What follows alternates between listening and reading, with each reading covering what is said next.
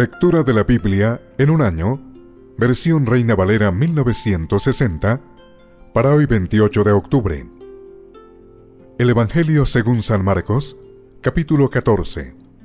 El complot para prender a Jesús. Dos días después era la Pascua y la fiesta de los panes sin levadura. Y buscaban los principales sacerdotes y los escribas cómo prenderle por engaño y matarle. Y decían, no durante la fiesta para que no se haga alboroto del pueblo. Jesús es ungido en Betania. Pero estando él en Betania, en casa de Simón el leproso, y sentado a la mesa, vino una mujer con un vaso de alabastro de perfume de nardo puro, de mucho precio, y quebrando el vaso de alabastro, se lo derramó sobre su cabeza. Y hubo algunos que se enojaron dentro de sí y dijeron, ¿Para qué se ha hecho este desperdicio de perfume? Porque podía haberse vendido por más de 300 denarios y haberse dado a los pobres. Y murmuraban contra ella. Pero Jesús dijo, Dejadla, ¿por qué la molestáis? Buena obra me ha hecho. Siempre tendréis a los pobres con vosotros, y cuando queráis les podréis hacer bien, pero a mí no siempre me tendréis Está ha hecho lo que podía, porque se ha anticipado a ungir mi cuerpo para la sepultura. De cierto os digo que donde quiera que se predique este Evangelio, en todo el mundo, también se contará lo que está hecho, para memoria de ella. Judas ofrece entregar a Jesús.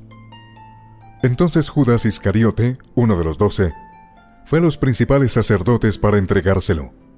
Ellos, al oírlo, se alegraron y prometieron darle dinero, y Judas buscaba oportunidad para entregarle.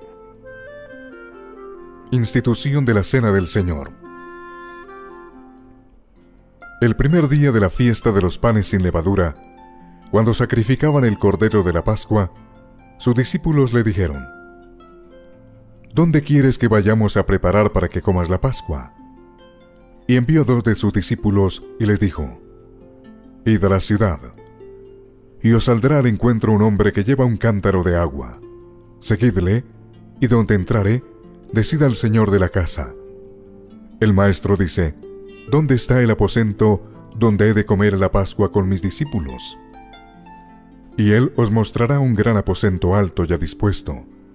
Preparad para nosotros allí. Fueron sus discípulos y entraron en la ciudad, y hallaron como les había dicho y prepararon la Pascua. Y cuando llegó la noche, vino él con los doce. Y cuando se sentaron a la mesa, mientras comían, dijo Jesús, De cierto os digo que uno de vosotros que come conmigo, me va a entregar. Entonces ellos comenzaron a entristecerse y a decirle uno por uno, ¿Seré yo? Y el otro, ¿Seré yo? Él, respondiendo, les dijo, Es uno de los doce, el que moja conmigo en el plato. A la verdad el Hijo del Hombre va, según está escrito de él, mas hay de aquel hombre por quien el Hijo del Hombre es entregado. Bueno le fuera a ese hombre no haber nacido. Y mientras comían, Jesús tomó pan y bendijo, y lo partió y les dio, diciendo, Tomad, esto es mi cuerpo y tomando la copa, y habiendo dado gracias, les dio, y bebieron de ella todos. Y les dijo, Esto es mi sangre del nuevo pacto, que por muchos es derramada. De cierto os digo que no beberé más del fruto de la vid, hasta aquel día en que lo beba nuevo en el reino de Dios. Jesús anuncia la negación de Pedro. Cuando hubieron cantado el himno, salieron al monte de los olivos. Entonces Jesús les dijo, Todos os escandalizaréis de mí esta noche, porque escrito está, Heriré al pastor, y las ovejas serán dispersadas. Pero después que haya resucitado, iré delante de vosotros a Galilea. Entonces Pedro le dijo, Aunque todos escandalicen, yo no. Y le dijo Jesús, de cierto te digo que tú, hoy, en esta noche, antes que el gallo haya cantado dos veces, me negarás tres veces. Mas él con mayor insistencia decía, Si me fuere necesario morir contigo, no te negaré. También todos decían lo mismo. Jesús ora en Getsemaní. Vinieron pues a un lugar que se llama Getsemaní, y dijo a sus discípulos, Sentaos aquí, entre tanto que yo oro. Y tomó consigo a Pedro, a Jacobo y a Juan, y comenzó a entristecerse y a angustiarse. Y les dijo, Mi alma está muy triste hasta la muerte. Quedaos aquí y velad. Yéndose un poco adelante, se postró en tierra y oró que si fuese posible, pasase de él aquella hora. Y decía, Abba, Padre, todas las cosas son posibles para ti. Aparta de mí esta copa, mas no lo que yo quiero, sino lo que tú. Vino luego y los halló durmiendo, y dijo a Pedro, Simón, ¿duermes? ¿No has podido velar una hora? Velad y orad, para que no entréis en tentación. El espíritu a la verdad está dispuesto, pero la carne es débil. Otra vez fue y oró, diciendo las mismas palabras. Al volver, otra vez los halló durmiendo, porque los ojos de ellos estaban cargados de sueño y no sabían qué responderle. Vino la tercera vez y les dijo, Dormid ya y descansad. Basta, la hora ha venido. He aquí, el Hijo del Hombre es entregado en manos de los pecadores. Levantaos, vamos, y aquí se acerca el que me entrega. Arresto de Jesús. Luego, hablando a él aún, vino Judas, que era uno de los doce, y con él mucha gente con espadas y palos, de parte de los principales sacerdotes y de los escribas y de los ancianos. Y el que le entregaba les había dado señal diciendo, Al que yo besare, ese es, prendedle y llevadle con seguridad. Y cuando vino, se acercó luego a él y le dijo, Maestro, maestro, y le besó. Entonces ellos le echaron mano y le prendieron. Pero uno de los que estaban allí, sacando la espada, hirió al siervo del sumo sacerdote, cortándole la oreja. Y respondiendo Jesús, les dijo, ¿Como contra un ladrón habéis salido con espadas y con palos para prenderme? Cada día estaba con vosotros enseñando en el templo, y no me prendisteis, pero es así para que se cumplan las escrituras. Entonces todos los discípulos, dejándole, huyeron. Pero cierto joven le seguía, cubierto el cuerpo con una sábana, y le prendieron, mas él, dejando la sábana, huyó desnudo. Jesús ante el concilio. Trajeron pues a Jesús al sumo sacerdote, y se reunieron todos los principales sacerdotes y los ancianos y los escribas. Y Pedro le siguió de lejos hasta dentro del patio del sumo sacerdote, y estaba sentado con los alguaciles, calentándose al fuego.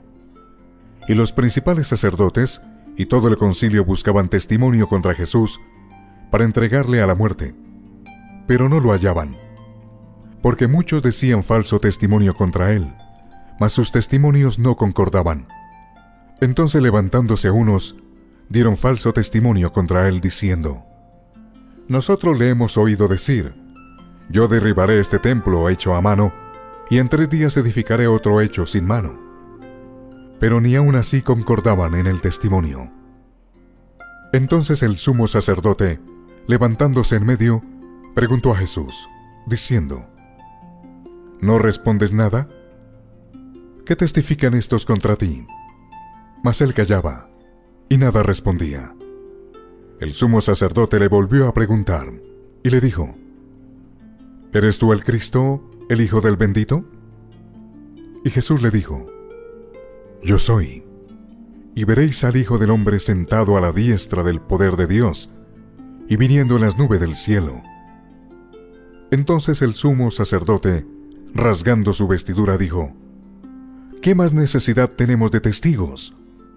Habéis oído la blasfemia. ¿Qué os parece? Y todos ellos le condenaron, declarándole ser digno de muerte. Y algunos comenzaron a escupirle, y a cubrirle el rostro y a darle de puñetazos, y a decirle, Profetiza. Y los alguaciles le daban de bofetadas. Pedro niega a Jesús. Estando Pedro abajo, en el patio, vino una de las criadas del sumo sacerdote, y cuando vio a Pedro que se calentaba, mirándole dijo, Tú también estabas con Jesús el Nazareno. Mas él negó diciendo, No le conozco, ni sé lo que dices. Y salió a la entrada y cantó el gallo. Y la criada, viéndole otra vez, comenzó a decir a los que estaban allí, Este es de ellos. Pero él negó otra vez. Y poco después, los que estaban allí dijeron otra vez a Pedro, Verdaderamente tú eres de ellos porque eres Galileo, y tu manera de hablar es semejante a la de ellos. Entonces él comenzó a maldecir y a jurar, No conozco a este hombre de quien habláis. Y el gallo cantó la segunda vez. Entonces Pedro se acordó de las palabras que Jesús le había dicho. Antes que el gallo cante dos veces, me negarás tres veces. Y pensando en esto, lloraba. Evangelio según San Marcos, capítulo 15. Jesús ante Pilato. Muy de mañana, habiendo tenido consejo los principales sacerdotes con los ancianos, con los escribas y con todo el concilio, llevaron a Jesús atado y le entregaron a Pilato. Pilato le preguntó, ¿Eres tú el rey de los judíos? Respondiendo él, le dijo, Tú lo dices. Y los principales sacerdotes le acusaban mucho. Otra vez le preguntó Pilato, diciendo, ¿Nada respondes? Mira de cuántas cosas te acusan. Mas Jesús ni aun con eso respondió. De modo que Pilato se maravillaba.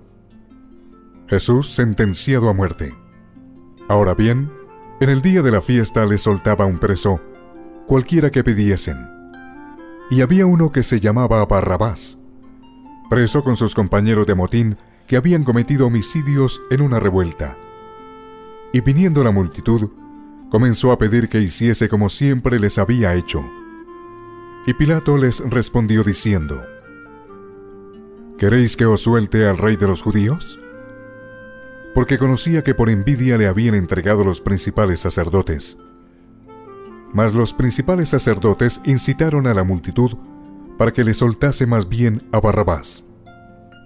Respondiendo Pilato, les dijo otra vez, ¿Qué pues queréis que haga del que llamáis rey de los judíos?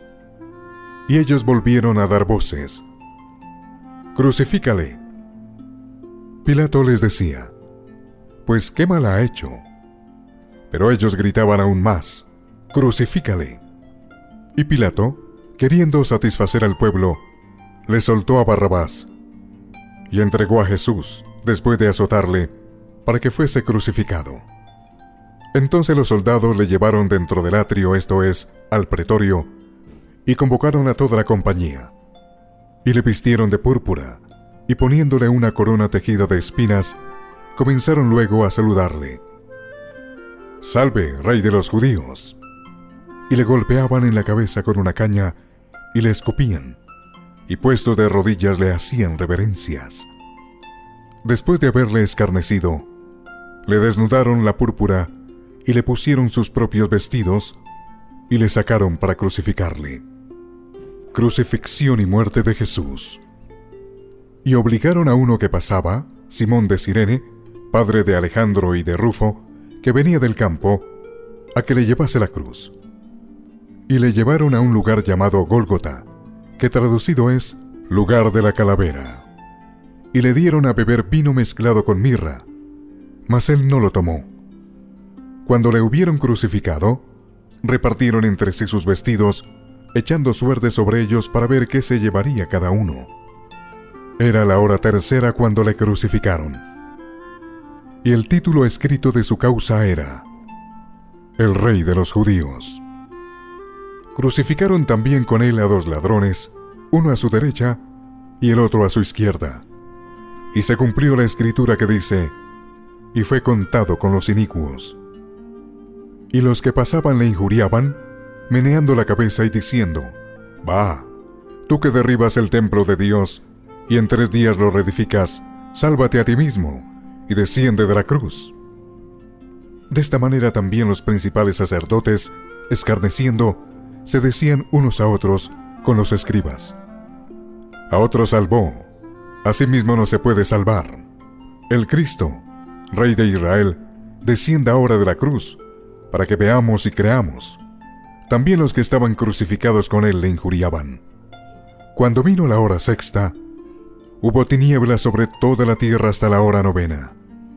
Y a la hora novena, Jesús clamó a gran voz diciendo, Eloi, Eloi, lama sabactini, que traducido es, Dios mío, Dios mío, ¿por qué me has abandonado? Y algunos de los que estaban allí decían, al oírlo, Mirad, llama a Elías. Y corrió uno, y empapando una esponja en vinagre y poniéndola en una caña, le dio a beber diciendo, Dejad, veamos si viene Elías a bajarle. Mas Jesús, dando una gran voz, expiró. Entonces el velo del templo se rasgó en dos, de arriba a abajo.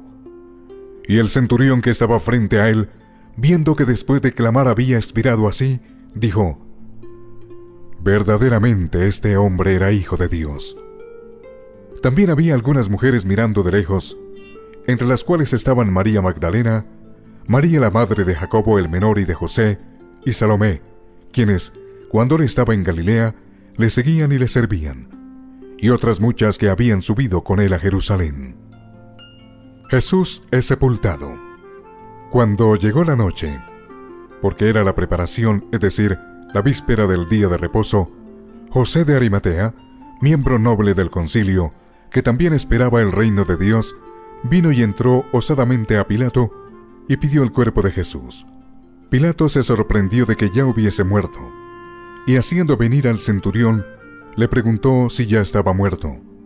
E informado por el centurión, dio el cuerpo a José, el cual compró una sábana y quitándolo, lo envolvió en la sábana y lo puso en un sepulcro que estaba cavado en una peña e hizo rodar una piedra a la entrada del sepulcro. Y María Magdalena y María Madre de José miraban dónde lo ponían. Evangelio según San Marcos, capítulo 16. La resurrección. Cuando pasó el día de reposo, María Magdalena, María la madre de Jacobo y Salomé compraron especias aromáticas para ir a ungirle. Y muy de mañana, el primer día de la semana, vinieron al sepulcro ya salido el sol. Pero decían entre sí, ¿quién nos removerá la piedra de la entrada del sepulcro? Pero cuando miraron, vieron removida la piedra, que era muy grande. Y cuando entraron en el sepulcro, vieron a un joven sentado al lado derecho, cubierto de una larga ropa blanca, y se espantaron. Mas él les dijo, No os asustéis, buscáis a Jesús Nazareno, el que fue crucificado. Ha resucitado, no está aquí. Mirad el lugar en donde le pusieron. Pero id, decid a sus discípulos y a Pedro que él va delante de vosotros a Galilea. Allí le veréis, como os dijo y ellas se fueron huyendo del sepulcro, porque les había tomado temblor y espanto, ni decían nada a nadie, porque tenían miedo. Jesús se aparece a María Magdalena. Habiendo pues resucitado Jesús por la mañana, el primer día de la semana, apareció primeramente a María Magdalena, de quien había echado siete demonios. Yendo ella, lo hizo saber a los que habían estado con él que estaban tristes y llorando. Ellos, cuando oyeron que vivía y que había sido visto por ella, no lo creyeron. Jesús se aparece a dos de sus discípulos. Pero después apareció en otra forma a dos de ellos que iban de camino, yendo al campo. Ellos fueron y lo hicieron saber a los otros, y ni aun a ellos creyeron. Jesús comisiona a los apóstoles. Finalmente se apareció a los once mismos, estando ellos sentados a la mesa, y les reprochó su incredulidad y dureza de corazón, porque no habían creído a los que le habían visto resucitado. Y les dijo, Id por todo el mundo y predicad el Evangelio a toda criatura. El que creyere y fuere bautizado, será salvo, mas el que no creyere, será condenado. Y estas señales seguirán a los que creen. En mi nombre echarán fuera demonios, hablarán nuevas lenguas, tomarán en las manos serpientes, y si bebieren cosa mortífera, no les hará daño. Sobre los enfermos pondrán sus manos, y sanarán. La ascensión. Y el Señor, después que les habló, fue recibido arriba en el cielo y se sentó a la diestra de Dios. Y ellos, saliendo, predicaron en todas partes, ayudándoles el Señor y confirmando la palabra con las señales que la seguían. Amén.